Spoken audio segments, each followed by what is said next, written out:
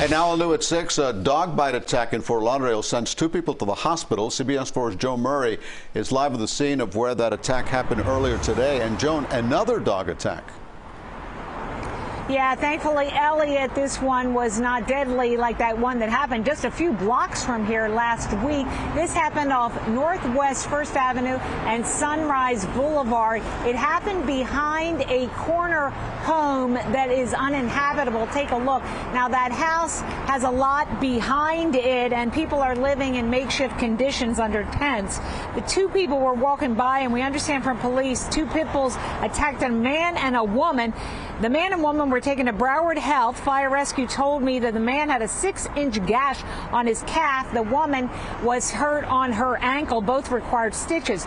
Police say they were forced to shoot one of the pit bulls because it charged an officer and that dog had to be euthanized. But there is another animal still alive. Here is a picture of that surviving pit bull. It is now being held at Broward Animal Care and Control. Police tell me this incident is under investigation. So what happens now to that surviving dog? Well, we are told by animal care that the owner has to come forward, but all depending on this investigation will determine its fate. Again, that man and a woman, they were treated at Broward Health not far from here. Uh, they both required stitches, but they are non life threatening injuries. Reporting live in Fort Lauderdale tonight, Joan Murray, CBS 4 News.